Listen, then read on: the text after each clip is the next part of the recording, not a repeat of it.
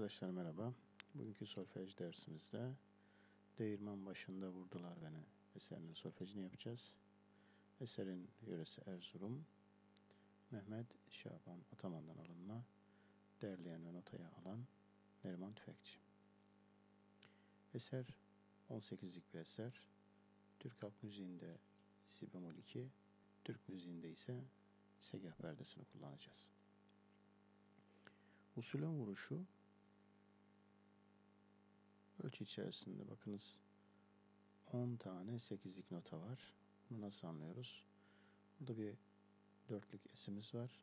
2 8'lik, 1 8'lik, 1 dörtlük, 2 8'lik, 1 dörtlük, 2 8'lik, 1 dörtlük var ve nokta ile birlikte bir 8'lik süre daha uzadığını görüyoruz. Sayıyoruz. 2, 3, 4, 5, 6, 7, 8, 9 nokta ile birlikte 10. Peki usulün seyri nasıl? 1, 2, 1, 2, 3, 1, 2, 1, 2, 3. 1, 2, 1, 2, 3, 1, 2, 1, 2, 3. Şimdi solfejimize geçelim. Es. Sol, sol, sol, fa,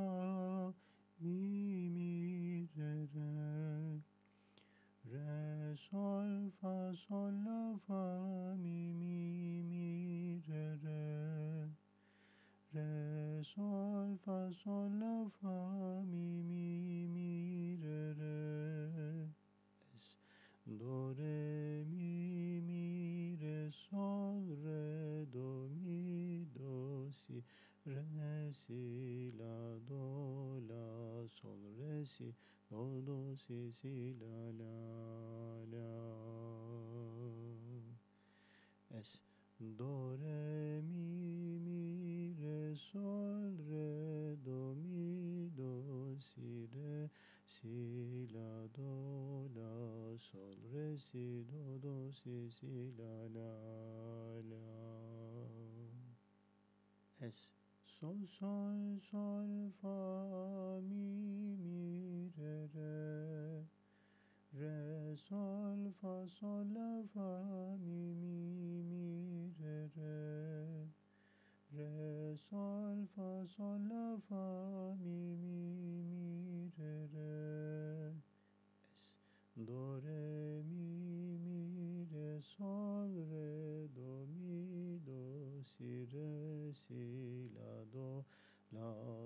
Re, si, do, do, si, si, la, la, la.